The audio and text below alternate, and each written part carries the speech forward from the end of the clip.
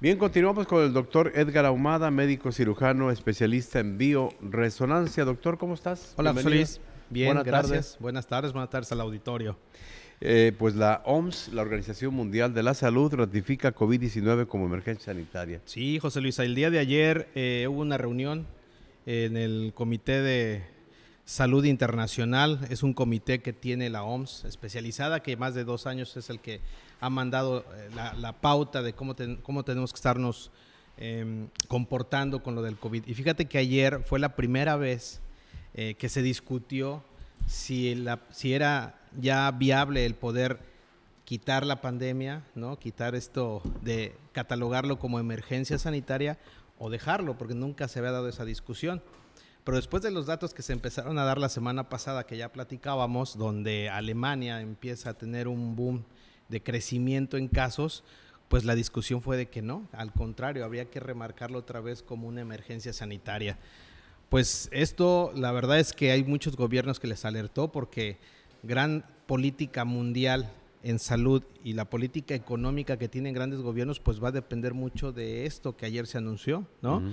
¿Y por qué se anunció? ¿Cuál ha sido lo que, o qué ha sido lo que vieron ellos en la discusión? ¿En qué se basaron para decir tenemos que seguir con la emergencia sanitaria? Pues platicábamos la semana pasada cómo Alemania, que ha sido uno de los países insignia que se comportaron y nos fueron dando pauta cómo hacerlo, pues de repente empezaron a tener un desbordamiento en los ingresos hospitalarios por COVID, tanto a nivel de piso como a nivel de cuidados intensivos empiezan a estudiar qué es lo que está pasando y lo que encuentran, que platicamos también la semana pasada, era una subvariante de Omicron llamado Cerbero. ¿sí? Es la BQ, B.1Q. ¿Qué va a pasar con esta subvariante? Bueno, lo que han visto, que es una subvariante muy agresiva, es una subvariante eh, que se contagia también muy fácil. Síntomas que han, que han encontrado y ya nos lo describieron los médicos, los colegas ahí en Alemania. A diferencia, bueno, pues son pacientes que llegan a tener fiebre, tos, dolor de cuerpo generalizado. Algo nuevo, se pierde el apetito. Son pacientes que están perdiendo el apetito. Hay afonía, quiere decir empiezan a perder un poco la voz o, distor- o distorsión de la voz. Eh, duran hasta, pueden durar de 7 a 10 días los síntomas. Y bueno, pues es lo que se ha estado describiendo. Y el día de ayer también em, reciben datos la OMS de que en España y en Francia están encontrando esta subvariante.